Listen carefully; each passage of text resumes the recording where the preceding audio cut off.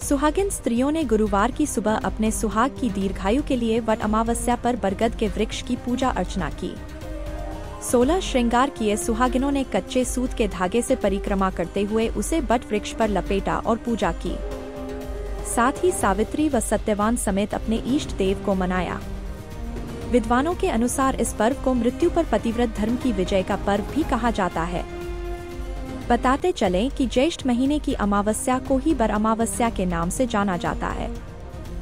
दरअसल इस दिन बरगद के पेड़ की पूजा होती है, इसलिए इसे बर अमावस कहते हैं। वहीं कई जगह इसे बड़ अमावस्या भी कहा जाता है।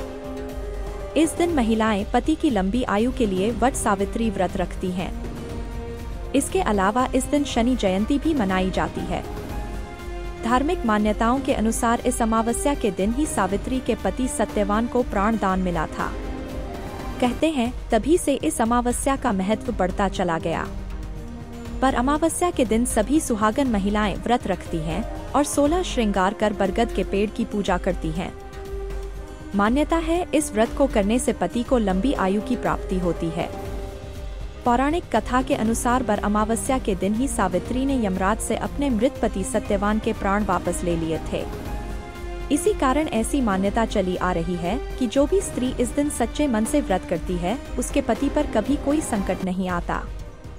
पर अमावस्या के दिन महिलाएँ बरगद के पेड़ के नीचे सावित्री सत्यवान व अन्य इष्ट देवों का पूजन करती हैं। मान्यता है ऐसा करने से महिलाओं को सुखद और संपन्न दाम्पत्य जीवन का वरदान प्राप्त होता है।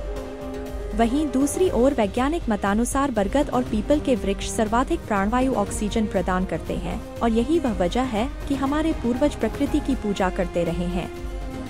इसीलिए पर्यावरण संरक्षण के लिए भी इस दिवस को महत्वपूर्ण माना जाता है।